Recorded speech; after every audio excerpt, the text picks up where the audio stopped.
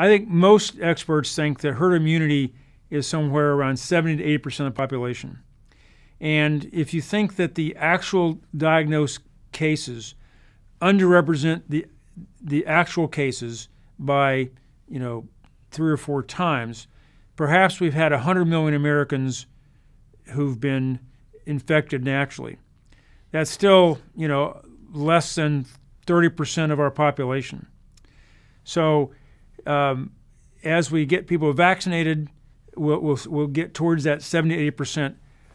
I think April is optimistic to think we'll have enough immunity that we'll really feel like we have the pandemic under control.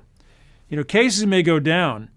We're still going to have people who die of COVID 19, who end up on ventilators, end up in the hospital, just at a much lower rate. So it's obviously critical to those people. So, you know, until we get enough herd immunity that cases are relatively few and far between, I, I don't think we could declare victory. I think April is optimistic, but you know we, we don't know. There's so much about this pandemic that we don't know. The the idea that we need you know 80% herd immunity, 70%, 60%, it's really based on other diseases and other models, and so um, we have to wait and see. I, I and and again, these new variants that may be more contagious may complicate these models. So uh, I think I think people should be optimistic. They should be optimistic about the vaccines. They should be optimistic that there is a light at the end of the pandemic tunnel.